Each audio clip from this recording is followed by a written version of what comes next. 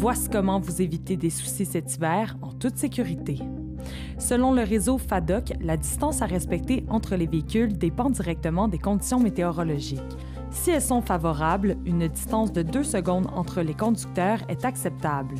On parle alors d'une distance de 28 mètres dans une zone de 50 km/h et de 56 mètres sur l'autoroute.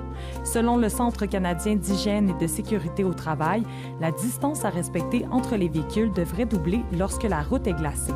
À 60 km/h, environ 80 mètres devraient séparer les deux automobiles. Quant à CAA Québec, l'association estime qu'un temps de réaction de 3 secondes est nécessaire lors de conditions estivales et de 6 secondes durant la saison hivernale.